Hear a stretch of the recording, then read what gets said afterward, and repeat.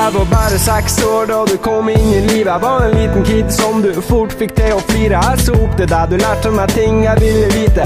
Hjalp meg med å bygge ting, men lot meg først slite. Da jeg ikke klarte det, sa du det var sånn jeg måtte lære. Gjøre litt feil er bare bra fortsatt trene. Jeg husker latteren din første gang jeg trodde jeg seira. Tre meter på en sykkel opp fra trynet og feila. Det var bra tøft da mamma vaska sårene, plukka steiner. Jeg ville være som deg, tøff og ikke noe pingler. Du sa det var lov å være lei seg og skrike. Du må huske, Tommy, det er de tøffe gutta som viser. Og jeg har ikke tenkt over det for 17 år etterpå.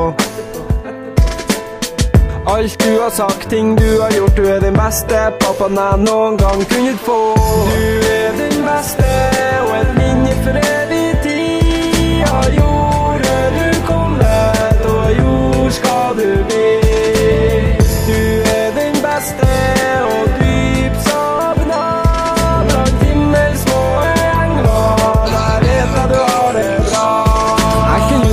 Tingene vi gjorde. Jeg kan huske ting du sa, dine rette ord. Ting du har lært meg fra da jeg var liten. Du lekte med meg, selv om du var trøtt og sliten.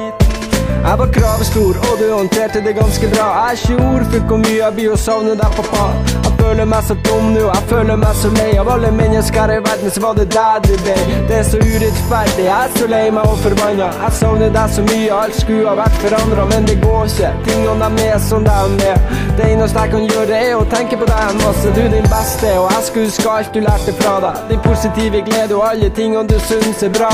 Hvordan du var mot søstera mi og alle hundene, og spesielt hvor flott du behandla og mamma.